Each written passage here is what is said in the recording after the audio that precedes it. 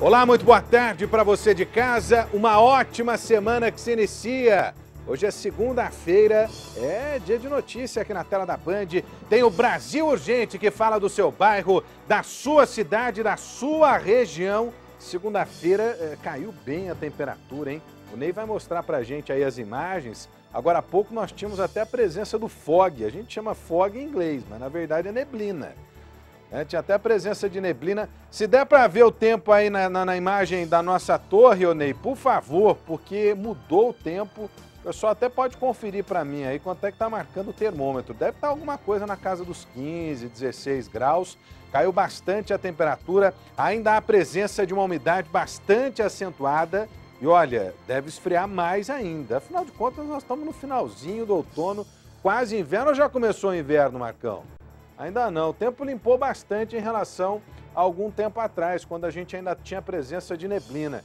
Mas as nuvens carregadas ainda persistem, nuvens baixas, há possibilidade de chuva ainda até o fim do dia. Ah, quanto, tempo de te... quanto temos de temperatura, hein, Vinícius? Quanto temos aí? no CEPAGRE da Unicamp? Eu acredito que seja algo em torno de 15, 16 graus.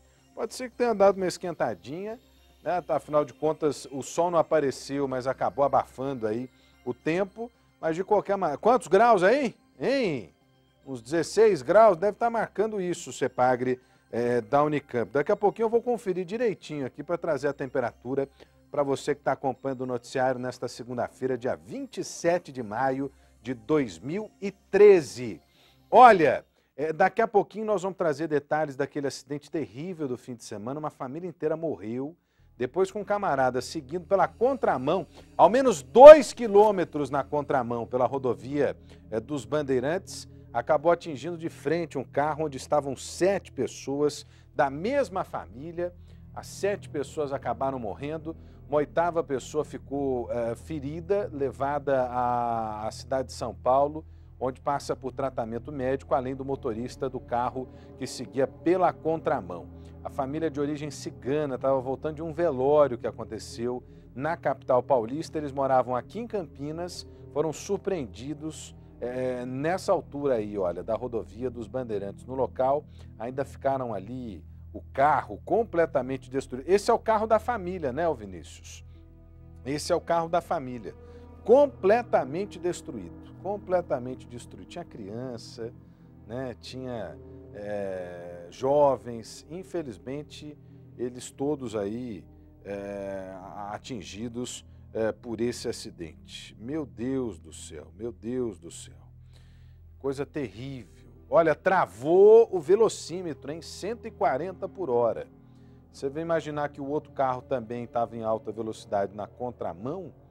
Né? Você imagina a, a, força dessa batida, a pancada, hein? A pancada é, nessa batida. Olha, o carro ficou irreconhecível, completamente é, destruído. Daqui a pouquinho nós vamos trazer os detalhes, porque a polícia está investigando o caso, embora o autor. O autor estava nesse carro aí, não era? O autor estava nesse carro aí, olha, e acabou pegando de frente o carro onde estava a família. É, a polícia está investigando o caso. Parece que o rapaz, é, pelo menos era essa a informação. Né? Ele teria brigado com a esposa, né? E nessa briga teria saído de um posto de combustíveis dizendo que iria se matar, seguindo é, pela rodovia é, na contramão por quase dois quilômetros quando acabou batendo de frente com o carro onde estava a família. Sete pessoas mortas da mesma família, oito mortos no total, hein? Oito mortos no total. Daqui a pouquinho nós vamos trazer os detalhes. Vem comigo aqui, a gente acompanha de perto tudo isso aí. O Felipe Pereira também está acompanhando o desenrolar dessa história. Olha, eh, tem um outro caso também de um motociclista, aliás, o, que, acabou matando né, um rapaz é, em Piracicaba. A vítima estava de bicicleta, não é isso?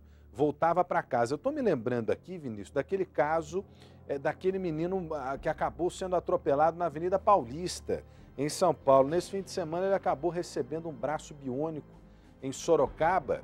Né? Ele trabalhava com rapel para poder fazer a pintura e limpeza de prédios lá em São Paulo. Um menino de ouro, segundo as testemunhas. Né? É, lá em São Paulo ele acabou sobrevivendo, ainda que com sequelas. Mas em Piracicaba não deu certo, hein?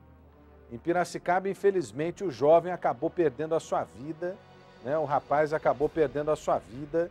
É, não é um jovem, na verdade, um homem de 53 anos, eu me confundi aqui, mas de qualquer maneira perdeu a sua vida depois de ser atingido por um veículo. Essa convivência bicicleta e carro é difícil, hein, Marcão? Como é difícil, hein? Como é difícil essa convivência. Parece que não há respeito das duas partes, das duas. Você gosta de andar de bicicleta, Marcão? Eu também gosto. Eu já não estou conseguindo andar muito de bicicleta, não, viu? O negócio está complicado. Mas eu gosto muito de andar de bicicleta. É, agora, é difícil andar de bicicleta nas nossas cidades que não estão preparadas para receber as bicicletas. E também aquelas pessoas que andam de bicicleta e não respeitam o espaço destinado aos veículos. É, cada um tinha que ocupar ali a sua faixa, é, tomar a sua precaução, mas não é isso que acontece na maioria dos casos. Agora, nesse caso aí, o camarada estava de moto, passou por cima do outro rapaz aí de bicicleta e fugiu. Não prestou esclarecimentos, a polícia está tentando localizá-lo é a família que sofre a dor de uma perda em mais um acidente no trânsito que mata mais que guerra nesse país. Os números são de guerra, né? infelizmente são de guerra. Daqui a pouquinho também mais detalhes dessa história para você. Vem comigo. Você pode acessar o Facebook para conversar comigo. Acesse lá e comente conosco as notícias do Brasil Urgente. O Facebook é o facebook.com barra rodrigo.salomão.790. Não sei porque tem um número, não sei porque tem ponto mas esse é o endereço que te leva à minha fanpage, rodrigo.salomão.790. Foi o próprio Facebook que fez isso. Deve ter uns 500, aliás, deve ter 789 outros Rodrigos Salomão, é isso, Marcão? Desse jeito que concorda? Rodrigos Salomão? Sei que é praticamente o professor Pasquale, aprendeu tudo com o professor Pasquale, conhece? A da língua pra caramba, olha.